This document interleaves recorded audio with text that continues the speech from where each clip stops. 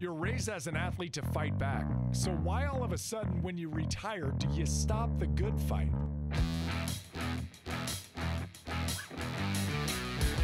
This is Finding Center with Nick Hardwick.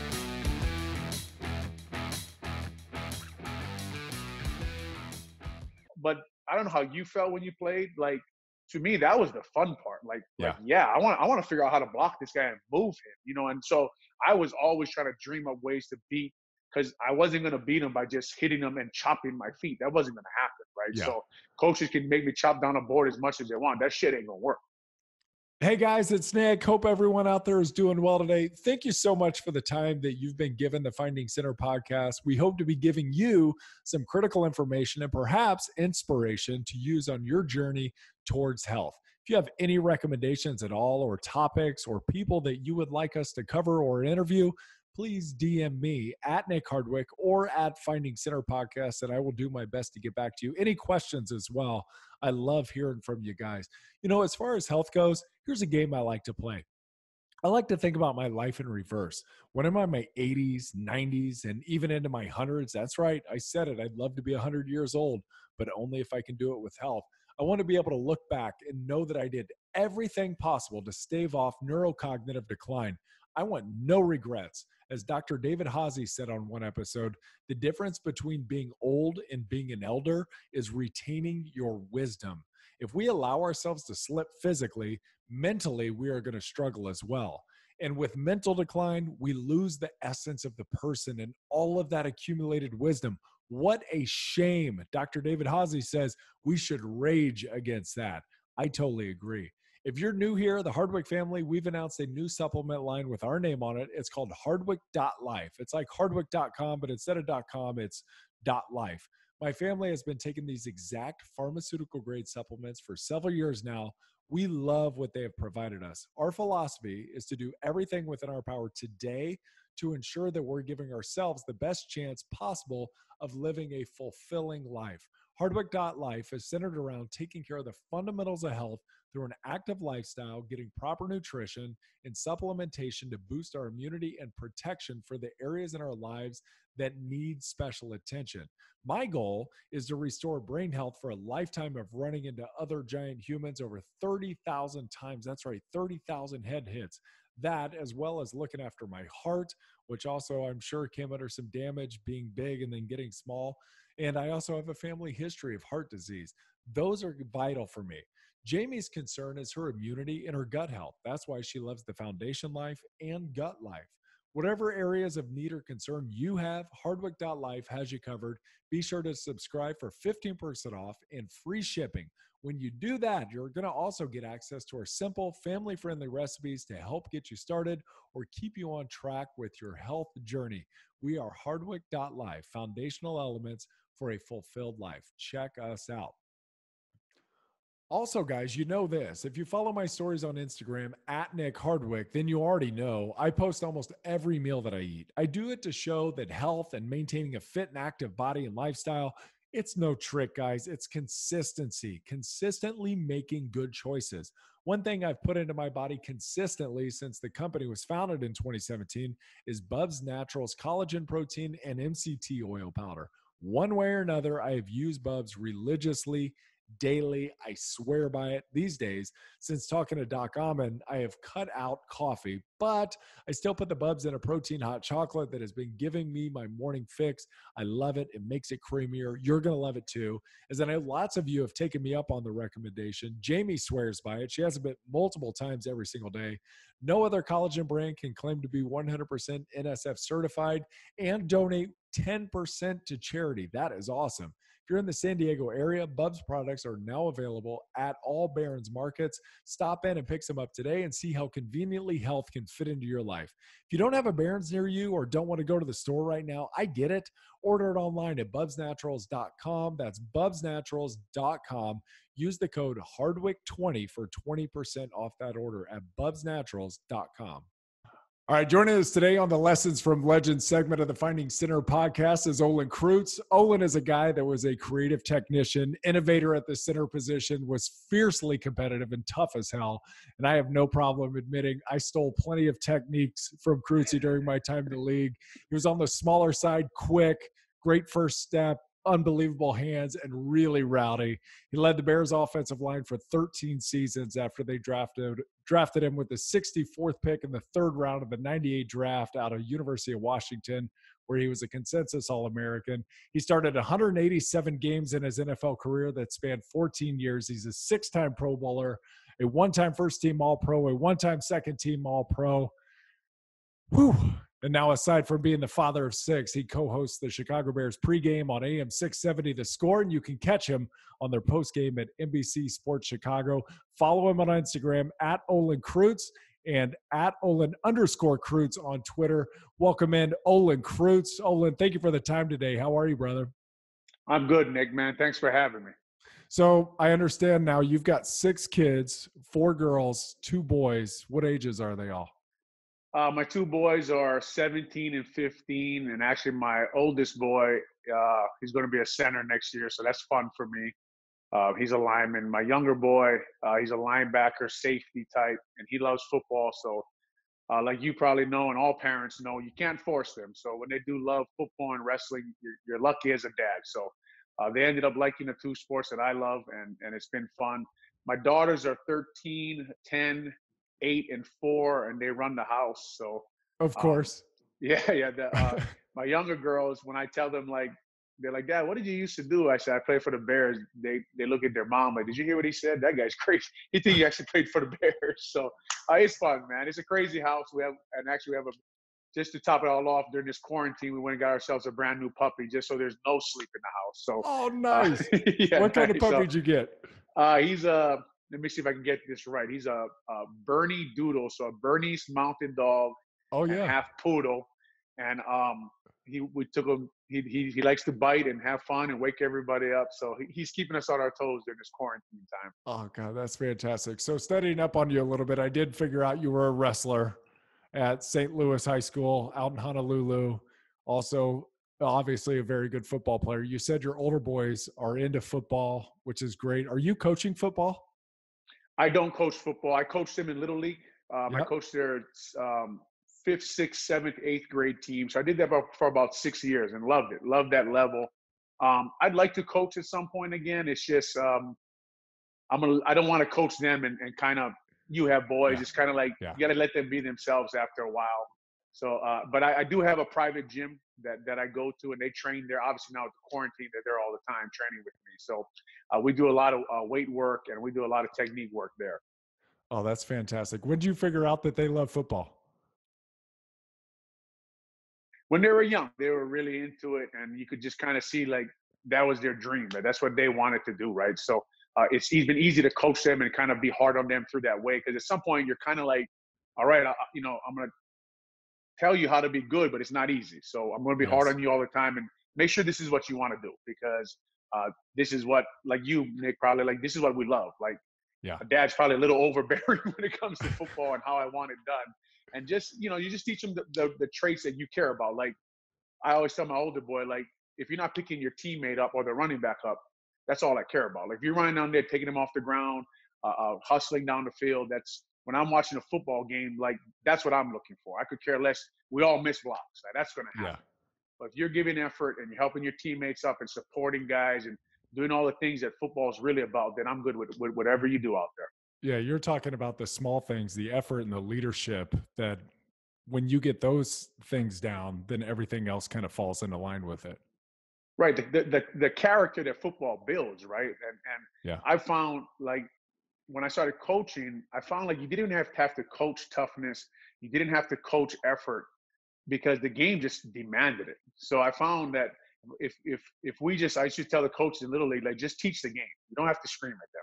It's gonna be hard. Like it's like the game is hard no matter what you do. It's a hard game. So they'll get that from the game. So the game eh, like it's funny, Nick. Like the farther I've gotten away from it, the more I've, I've even fallen more in love with football. I just think it's a great game. I think kids get so much from it. Now I understand all the stuff that goes on with the concussions and all those things. And I went through that through coaching little league and trying to make it safer and and try to educate people on how to make it safer. But just really, really, really fell in love with the game of football again and what it actually teaches kids. What are your girls into? Uh, my girls play everything at that age, right? And it's volleyball, it's basketball, it's gymnastics, and, and I, I hate to tell you that I did end up. My daughter came to me and she said, "Dad, if we don't have a coach for our 12, 13 year old basketball team, and if we don't have a coach, we don't have a season." So I, she was asking me to coach the basketball team, so I did, and that was the most humbling experience I've ever had in my life. Okay, because the girls don't give care what you're saying to them, so uh, we weren't very good, and, and a lot of that was my fault because I didn't know how the hell to coach basketball. But uh, we had fun and, and, just learned a lot. But they're into that stuff. But um, girls' sports is interesting nowadays. I don't know if you know much about it, but a lot of it is club. Uh, yeah. A lot of it is a lot of hours, a lot of time, and I don't think we have time on this podcast for me to give you my exact feelings on how I feel about where all that club sports and all that stuff is going. It's and, crazy. I'm not really happy. Yeah, I'm not really happy with it. Uh, not really happy with the hours they demand, and you got to have an Adidas ball to walk in the gym. You got to have Adidas clothes on. And my question is, where where the hell is all this money going? So um, I hope some at some point somehow girls sports start to change back to where they're just playing for their high schools and they're just playing little league and they're playing all the sports they need to play. So as I've listened to you talk about race raising the family, I've brought i'm bringing my family up with three tenets. You got to be tough you have to be hardworking and you have to be respectful. And i think those three things will carry over into everything. Whatever you want to do whether it's a football player any other type of athletics just being a regular human if you're tough you're hardworking and respectful it's you set yourself up for success. If you were to say these are our tenets that i'm raising the Kreutz family on what would they be yeah, it's just really strong character, and it's funny when you use the word tough nowadays. People kind of they don't like that word anymore, yeah, right? But right.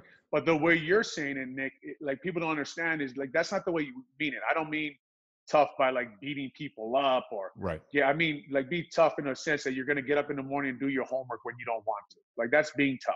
That's you know, uh, read that book.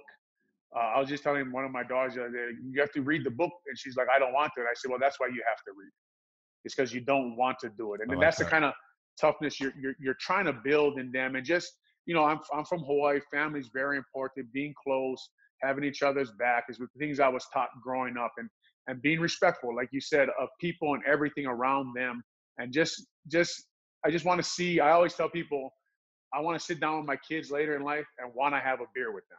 Look i don't Yes. not i don't i don't want to not be around them you know what i mean? And for me sometimes it's a little weird because um, the culture I grew up with, they're growing up in Illinois. So it's, Yes. it's, it's, it's a little different, and the Hawaiian culture is a little different than Illinois culture. So just try to instill everything that you want out of them, but still let them be themselves. Yeah, I was going to ask how challenging is that because you're talking about two completely different cultures. Do you guys get back It to is- Hawaii to dip sorry, in there? No, go ahead. Go ahead. We, we we haven't we haven't been there uh, maybe three years, maybe three years now. I went back. Remember Dominic Raiola? Yes. Uh, oh he's yeah. my best friend I grew up with in, in Hawaii, and he went into the Polynesian uh, Football Hall of Fame this year. So I went Nice. back for that. It's the first time I went back in three years, just because kids sports and we've just been busy. And then of course this year when we plan to go back for the first time to see everybody, this quarantine is hit, so we're kind of waiting that out, right? Of but course. it is. It's a different culture, but there's a lot of a lot of good here and a lot of good people here too, and, and, and people who believe in the same stuff. So um, just kind of, and I've been here almost 20 years now. So just kind of learning a, a new culture and, and getting used to it and, and kind of integrating ourselves into this community has, has been a good learning experience also. Olin, when you think back to your football career and all the success that you've had up till now in raising a beautiful family, what's your strength that's allowed all that success? If you were to boil it down to, I don't know, one or two things, what would it be? I, I think the one thing that that I can give myself credit for, and probably like any center that you interview on this, the hardest thing is talking about yourself, right? Like we're That's not right, like yeah. that. We're all linemen, and we don't like to do that stuff. But uh, it's probably persistence. I, I, I, if I see something, I just figure I'm gonna do it the right way. I'm gonna stay on that track, and eventually, for me, it usually takes longer than I'd like, but I just stay there and I do the right things, and I be as persistent as I can be, and I just work at it, and I take the things that I've learned from football as far as studying as far as doing things right, as far as always doing stuff for the team, trying to make other people better. And that usually equates success for me. So I, I, think back to when it all kind of switched in my head for me, and it was really high school wrestling. I was a super mediocre sophomore on the varsity team. I was 19 and 20, and then something switched in my head, and I ended up becoming 48 and two. And then my senior year, I got second in the state of Indiana.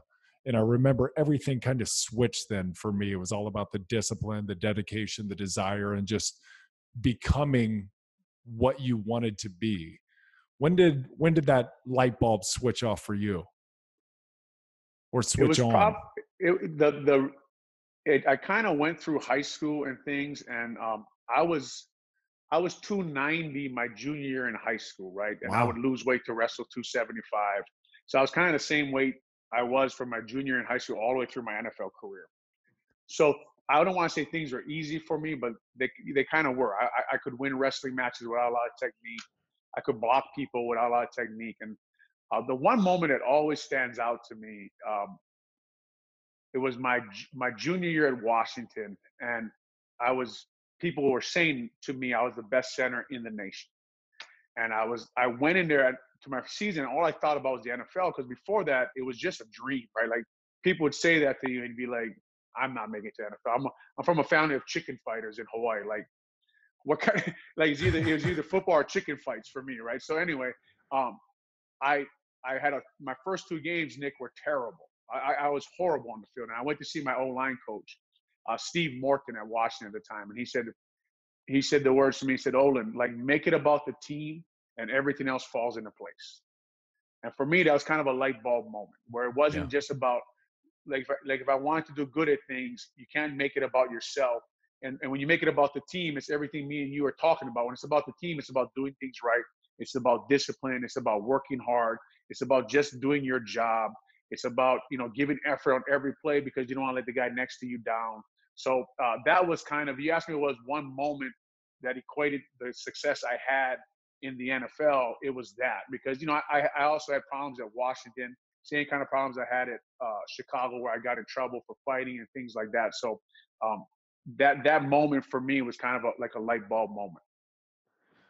It's funny you mentioned when you were at Washington or when you were 290 pounds in high school your junior year, you didn't need any technique really to beat people. You could just probably overwhelm them physically. But then notably, you became a masterful technician who I think really was part of a movement that changed the game, especially at the center position. I, I used to study you and I used to find the, the, smallest little details of your game that I could pick off and rip and make my own with with my body style and the way that I played. When did it switch? When did it occur to you that I've got to really hammer down these techniques? uh, Mike Mike Wells. I don't know if you know the name Mike Wells. He's a nose guard for the Bears. So okay, when I when I was playing at Washington or at St. Louis, I would just jump, turn, and throw guys, right? Like jump roll them and then run downfield and cut guys. And I just would, I was having a blast out on the field. And actually, my wife's brother was my O line coach at, at, at St. Louis High School. And he taught me this stab where I'd stab guys in the neck and their hip. And, and Nick, it was so ugly. I was just bending guys. and anyway, uh, so it was like was a choke slam. That. Yeah, it was a choke. So I would like, I gotta find film for you. I would like choke slam guys at Washington, at like at Washington College, like choke slam, hook them, choke slam, pass pro. It was just anyway. So I got to the NFL, and Mike Wells, probably like a 550 pound bencher, he played a nose guard for us. Pretty good football player. Not not pretty good, really good. And I went in the first 907 to jump turn him, and Mike picked me up. I mean, I was off my feet, and he ran me. And I, you know, one of those where you tackle the running back. Yes. And I tackled her, and he slammed me on my back. Okay. I'm eight yards in the backfield. I think um, at that time it was Edgar Bennett's on the ground, right? Eric Kramer staring at me like, "What the hell?"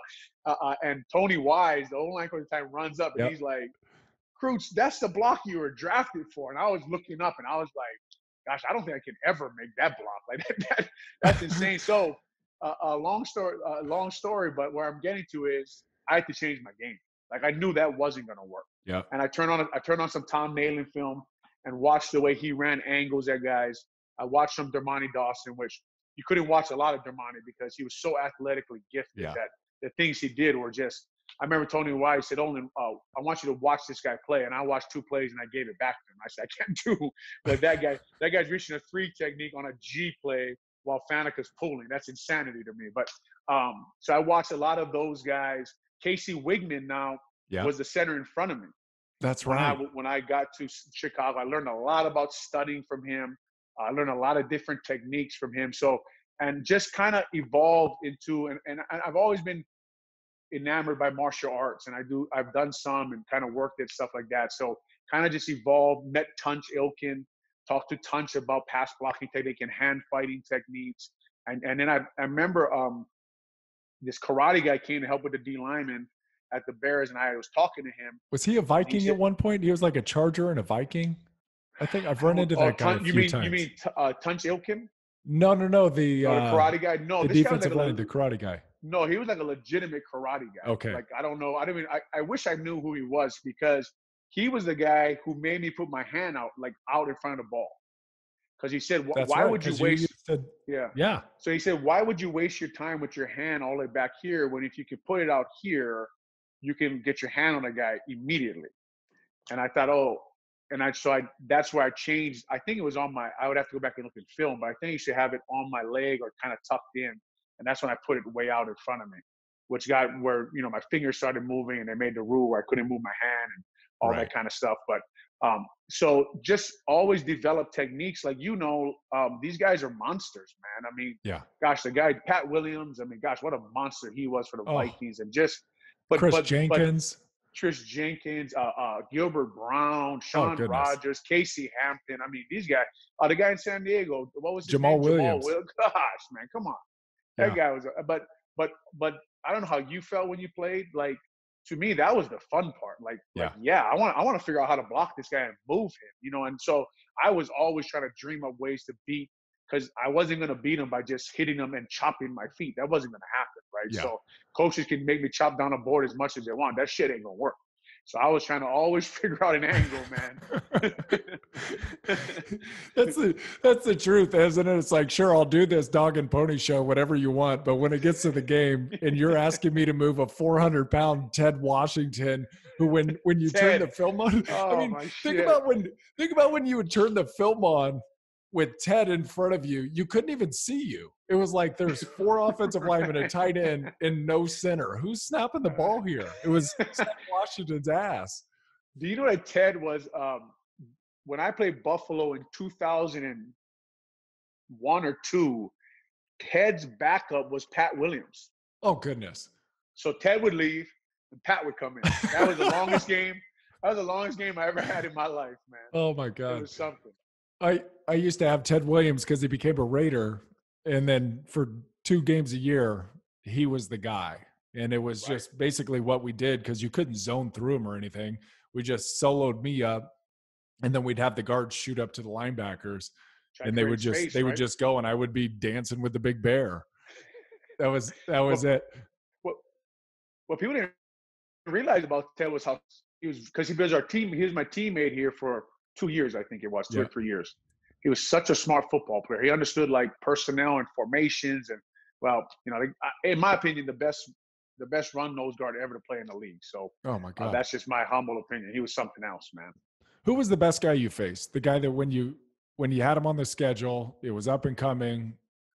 Some anxiety set in. Mine was Richard Seymour because he ended up being with New England. We were Oh, playing him Richard's a bunch out there man. at the beginning of my Mhm. career. And then Belichick traded him to Oakland. And that guy was a handful because he was smart, he was long, he was strong, he was athletic, and he was an asshole. Yeah, yeah, he put He me on my back things. one time. Yeah, he was he was very good, was but good. uh, probably Pat Williams, probably Pat Yeah. Williams because he was in the north with us in Minnesota. That's and, right. uh, just just I knew I knew if I came out of that day and won 51%, it was a good day. You know, Yeah. like you're just trying to break even. If I could just break even today, uh, or just get a stalemate at some point and and not let him, uh, you know, push me back and cause a fumble or mess up one of my snaps because he was so tight on you all the time and Yep. just very good with his hands. He had very fast feet, and there's a reason wherever he went, they were the number one run defense in the league. Yeah. Yeah. And he also had that little swim move that he would hit. So you would lean on him because he was so big and then he would swim you and then leave you on all fours, sitting in the grass. I mean, he was for sure. I don't know how he made plays off that angle. Like he plays so tight in this angle, yeah. and still get out and make the play on the other side. It was crazy. Yeah, was. Yeah, don't, they don't make they don't make nose guards like they used to. I mean, the, yeah, the I don't, big I don't guys, know, the Sam Adams, the Jenkins, the Pat Williams, the Gilbert, they don't make those guys. The league's so much smaller and faster and pass oriented now that it doesn't really do you any good to have one of those guys. Yeah, we have one here who kind of reminds me of Akiem Hicks. Kind of reminds me oh, of those yeah. guys where he's just a big, strong, like he, that, like you're saying, like that kind of athlete, right? That kind of guy on the nose and just wrecking havoc on you, man. Yeah, he's got those big clubs arms. So you were all pro, first team all pro, which is like the MVP of centers in 2006. That was also the year you went to went to the Super Bowl. What what year do you think you peaked? Was that your peak year? No, that was the year I think that we you know we uh, we went to Super Bowl. The team yeah. was the best that I played on. We I played on some really bad teams early on, especially off. Well, offense we were never really great in Chicago, but um, I probably probably played my best football 2001 through 2004, maybe because 2006, which is the year I'm probably most known for, that was the, my 10th year in the league. You know, yeah. so I was older already. So um, it was probably when I like you know, it's like your fourth or fifth year where you're still healthy.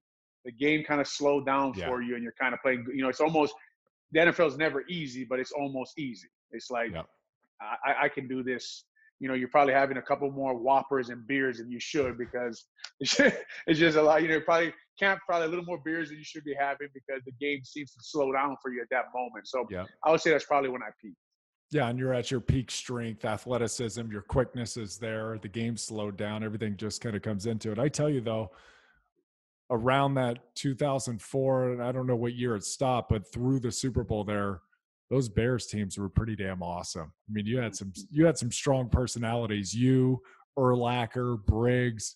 Who led that? Who led those teams? Probably Lack. Lack led yeah. it, and you know, and he's he's a he's a first ballot Hall of Famer, right? And, and yeah. you kind of get that like when you're playing with guys and you're like, man, this guy is good, and then it, then he goes in the Hall of Fame, and you're like, yeah, he was good. And then there's Hester, right? And Hester was, That's I mean, right. he was so fun to be on the field with. I mean, that guy Every time he caught a punt in the middle of the field, it was crazy. But that defense was just, I mean, you know, Briggs and, and Tommy Harris and Mike Brown and Peanut Tillman and Vasher and Adewale Ogunleye. And then when Adewale left, it was Julius Peppers and Alex. I mean, uh, uh, nine on seven was just brutal. You know what I mean? practice yeah. was they just destroyed us in practice. You know, uh, I, would get so I was like a little crybaby half the time. You know, we were getting beat up all practice by these guys. They looked like they were having so much fun. You know what I mean? Like, gosh, I wish I could have played with those kind of guys. You know, but um, yeah, we we had a lot of fun. They, not only that, but Lack was not only Lack was a good leader. Uh, he was just a great guy, a great teammate. Uh, uh, you couldn't ask for a better superstar than that guy. Like we used to come in on Saturdays when you would do walkthrough, and we'd always end our walkthrough with dodgeball, right? So Lack wanted to play dodgeball offense versus defense, and we always nice. had games going on. And that was his personality. Like he just wanted to have fun. He was and such a fierce competitor too. I, I remember there was a preseason game. I think we came out there, and first off, you you pull up into the captain's huddle, and he's like, he's giant for a middle linebacker. He's all of six five. I'm like, right. I'm like, wait a minute, what position are you playing again? I mean, obviously I knew who it was, but I I was looking up at him, and I was like, Jesus Christ, yeah. who is this guy? He's a giant. Yeah. And then, of course, like coin toss, boom, take your sides, whoever's kicking, whoever's receiving. And then normally it's like, hey, shake your hands, good luck, stay healthy. It's the preseason, right? I look at Brian, I wanted to shake his hand. He's like, fuck you, pussy. I was like, Jesus. It's like, all right, then, let's get it. Like, all right, then. But I mean, That's just. It, but but I loved it. And right then yeah. I was like, I love this guy. He's just such a yeah. fierce competitor. I mean, he's just even in the preseason, he's like, let me show you how this is done here. I, I, I greatly appreciated it. Yeah, for him the fight was fun, right? Like that's what he was there for. He just yeah. enjoyed. I mean, he would run around, kick your ass, and the smile would never leave his face. That that was so irritating. Like I was always trying to knock the smile off his face. Like I knocked the smile off his face, like I blocked him, you know, but oh which was very rare. He was uh, I remember we had Barry Minter and Mike. Barry Minter is an older older name in Chicago, and they had uh, Lack on the line playing Sam in the under defense. Oh yeah, his rookie year. And Barry Minter goes down, and Lack was terrible on the line of scrimmage because he was safety in college, right? So he was really struggling that year. And Barry Minter is going to miss a game. And they put Lack in middle linebacker. So I went out, we had outside zone called. And those days, I'm not saying I was great, but I could jump out and cut off the middle linebacker, oh, yeah. right? I'm like, if they gave me a wide three, I'm like, I'm like, this rookie is done. Nick, he took off. I've never seen speed like that in my life when he ran. I, I, didn't even get close to him. You know what I mean? He gave me one of these and he went, and I was like, holy shit, who the hell? I went to um, how do I tell Big Cat and Chris Villarrial? I go, that that guy is going to be good, and they're like, he's a wimp. he's going to be no good. He can't play on the line of scrimmage, and nah. he ended up being like that was the moment. I, I don't know what he did in that game. I can't remember that far back, but that was the moment I was like, this guy, he's going to be something. Yeah. Yeah, that's funny because several times we played you guys, I don't remember ever touching him.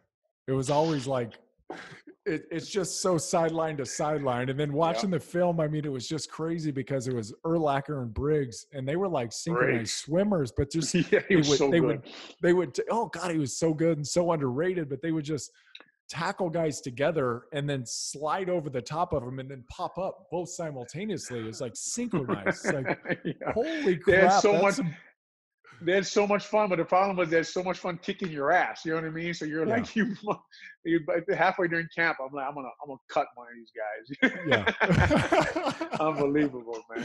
Oh, uh, best moment of your career? Uh, the NFC Championship game in that year, yeah. 2006, uh, beating the Saints at Soldier Field. Uh, the snow was coming down. Uh, Mrs. McCaskey gets her father's trophy. There's so much history in Chicago, right? It's just yeah. Uh, you don't realize how lucky you are to play here.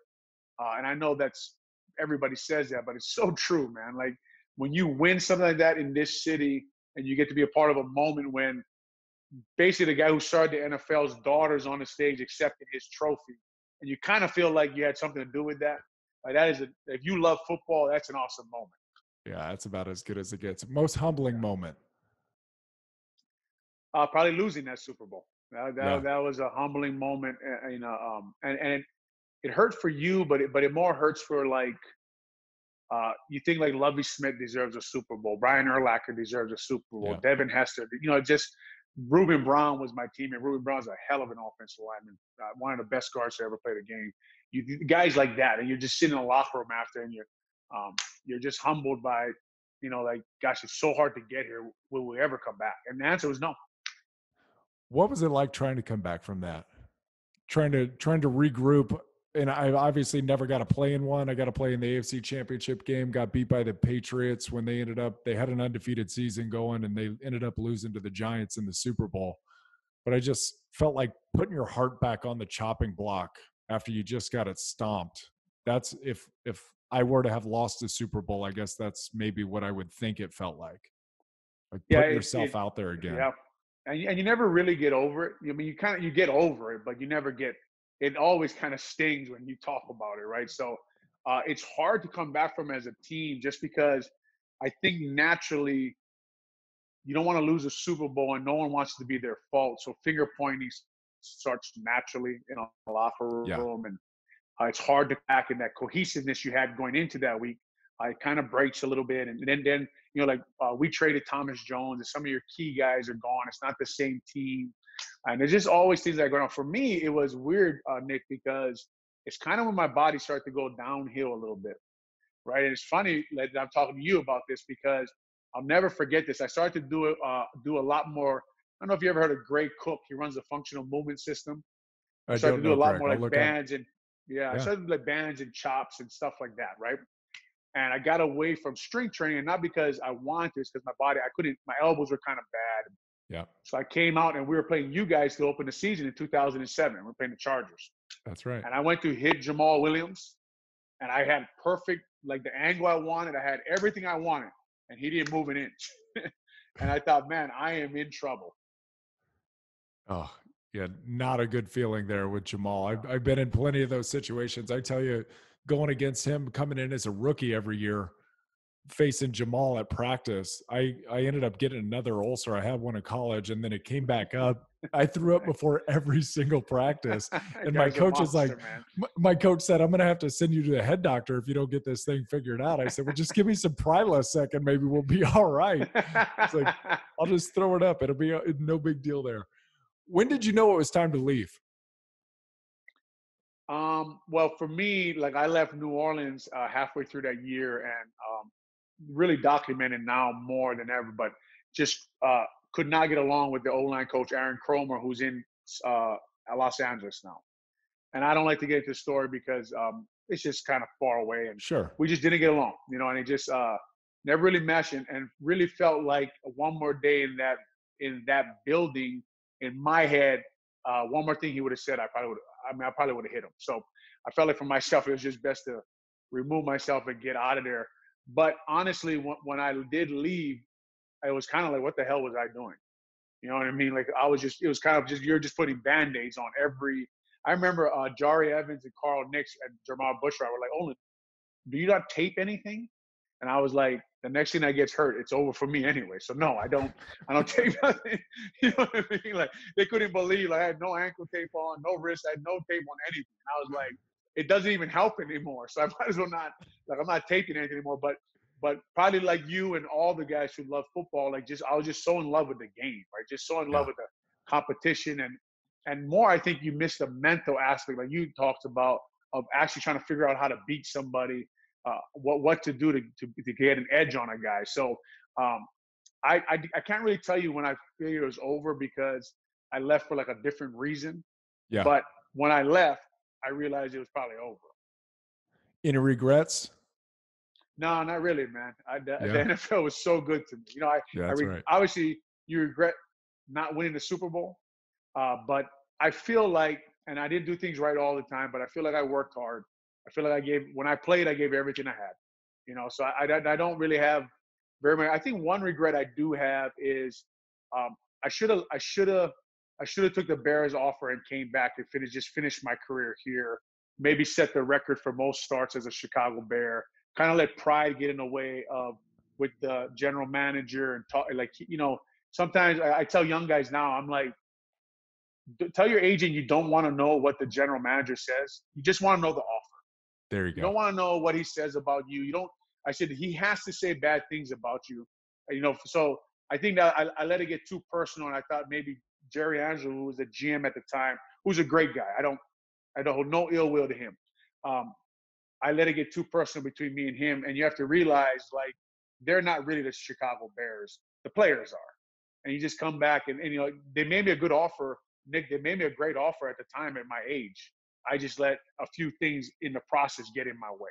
Sure. So that would be, if, if you ask me what's the one regret I have, I wish I would have finished my career here.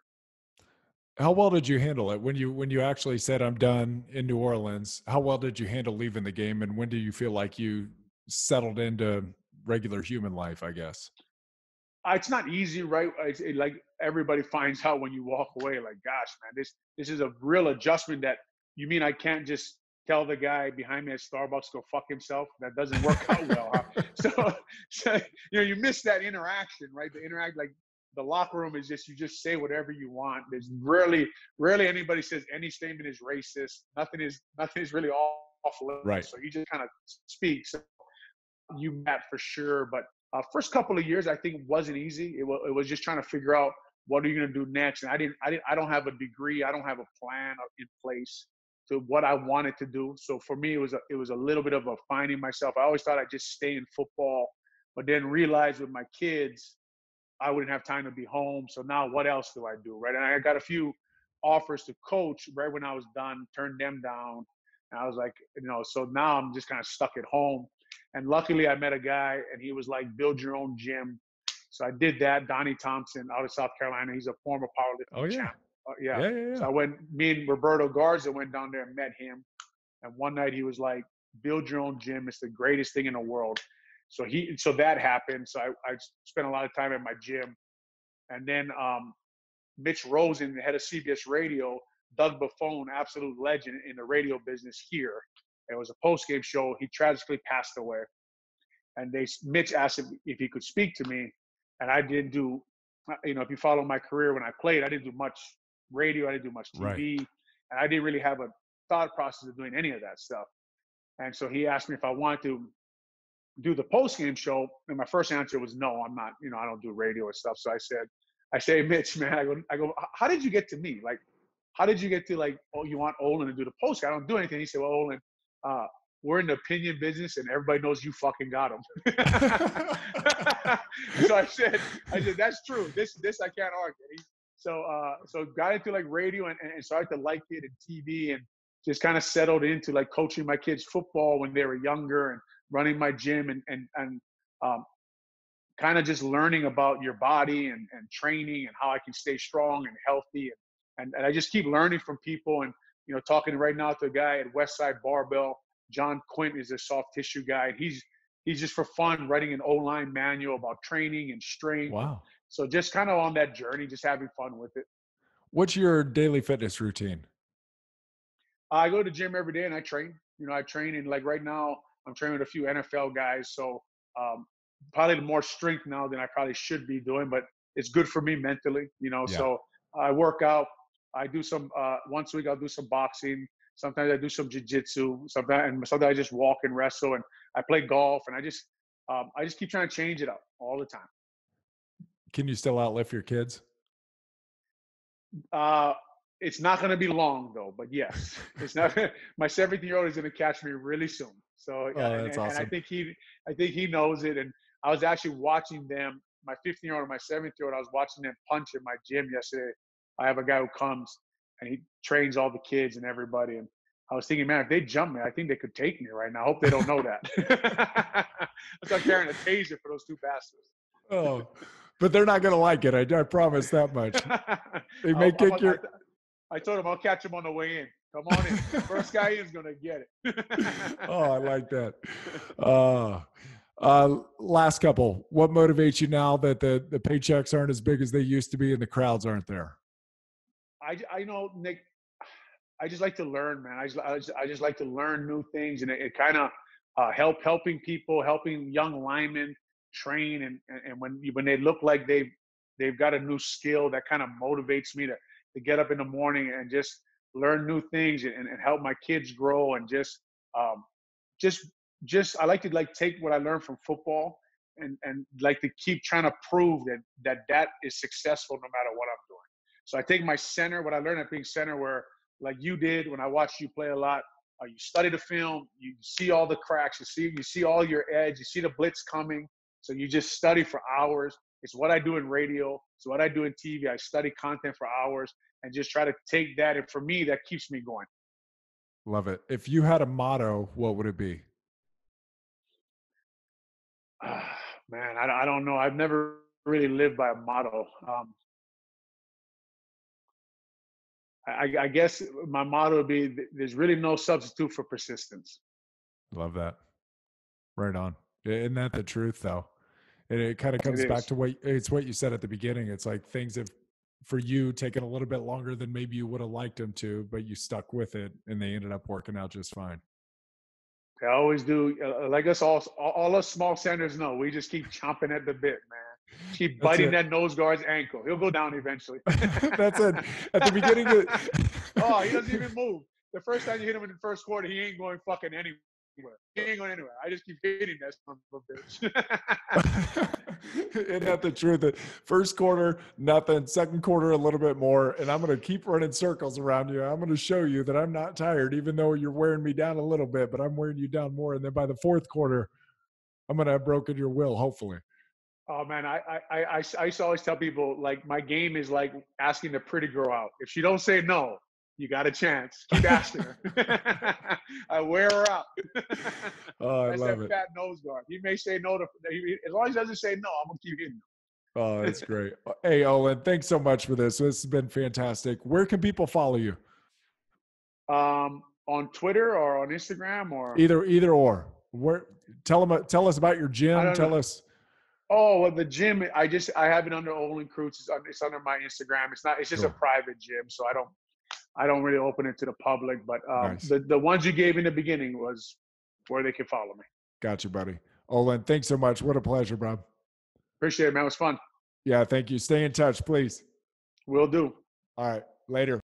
All right, gang, that's all we've got for this episode of the Finding Center podcast. I hope you enjoyed listening to it as much as I enjoyed doing it. One thing that would really help both of us and other potential new listeners is for you to rate this show and leave a comment in iTunes, Stitcher, Spotify, iHeart, or wherever you listen. Also, make sure to link up with us on social media. I'm at Finding Center Podcast and at Nick Hardwick. And follow, be sure to do this at hardwick.life for great health information, recipes, and healthy lifestyle tips. And please share, share, share this podcast with anyone who you think might enjoy. I like to send specific episodes to people that I keep in mind while doing the podcast. Maybe you could do the same thing while you're listening. Thanks again, guys. Until next time, here's all the health to you.